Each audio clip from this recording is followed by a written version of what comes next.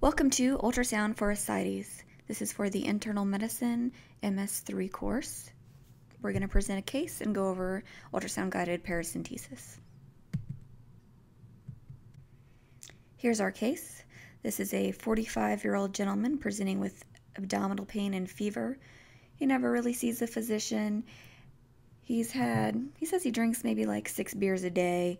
He reports some weight gain over the last couple of weeks and he has no significant medical history. On exam, his heart rate's 115, he's febrile at 39.2. He has sinus tachycardia, his belly is distended, diffusely tender, with some dullness to percussion, and you think you feel maybe a fluid wave. He has no peritoneal signs and no focal abdominal tenderness. He also has some mild jaundice. His labs, he's got a white count of 25, hemoglobin's 11, platelet count of 200, INR of 1.5. His AST, ALT are minimally elevated. So, what would be a, the next best step? So, he needs a paracentesis.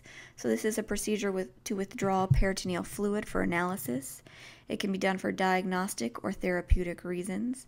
Diagnostic would be to diagnose things like spontaneous bacterial peritonitis or to determine what may be causing the ascites.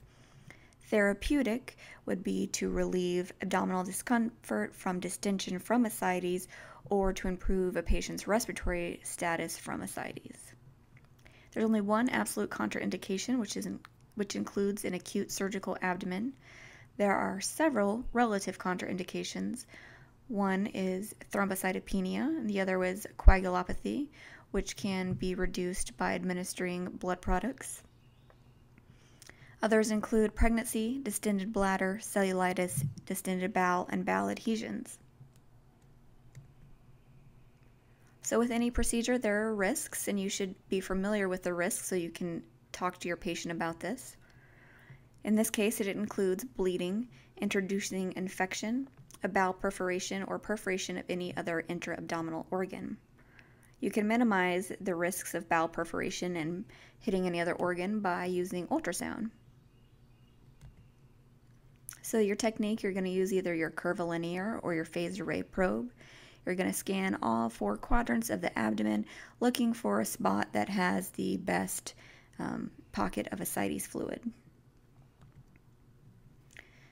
So when you're ultrasounding for ascites, you're asking two basic questions. Is there ascites? Where's the best pocket for a paracentesis? So generally, when we're doing a paracentesis, we stick to the lower quadrants. This way we avoid the liver and spleen.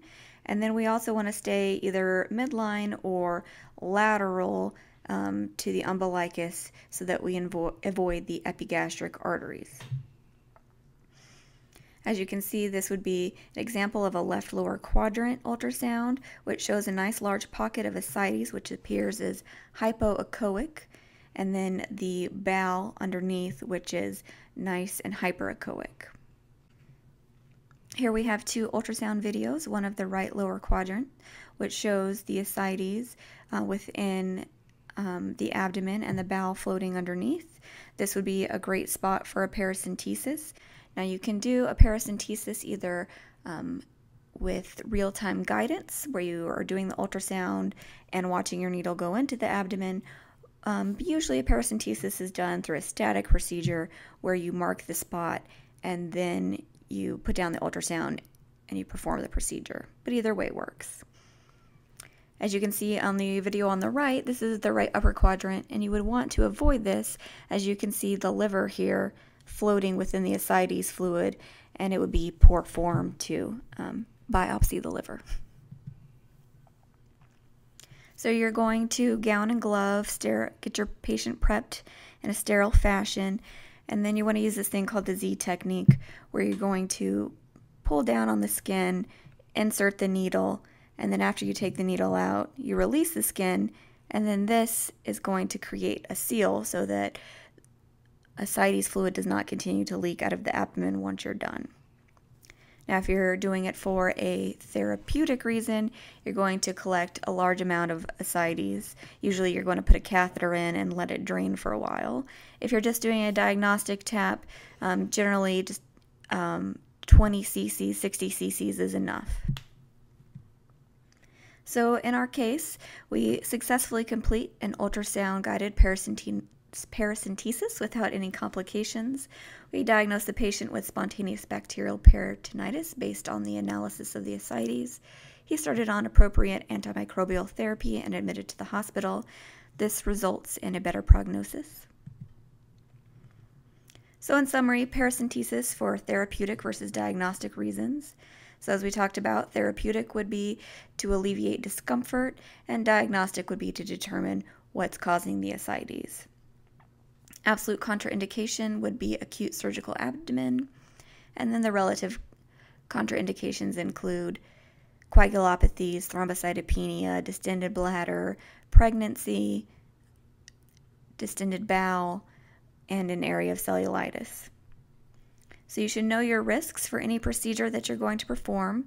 In this case, it includes uh, infection, risk of bleeding, and bowel or other intra-abdominal perforation, which can be avoided using ultrasound. So ultrasound um, increases the first time success of a paracentesis and it lowers the risk for the patient. Thank you.